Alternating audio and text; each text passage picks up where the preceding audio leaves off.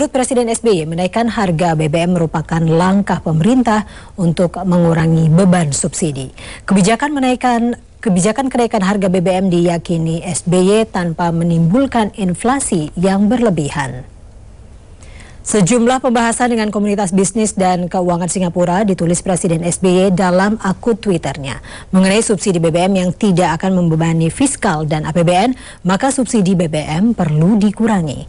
SBY juga menambahkan kenaikan harga BBM akan dilakukan bagi yang mampu, karena ekonomi akan sehat dan adil untuk rakyat.